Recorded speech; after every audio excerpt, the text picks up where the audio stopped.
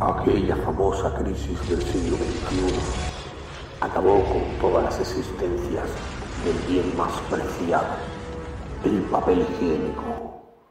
He aquí la dramática historia de una de las numerosísimas familias que se embarcaron en la infangosa búsqueda del papel preciado.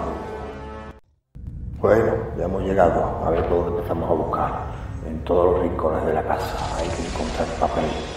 Abre, cierra, busca, revuelve en el sótano.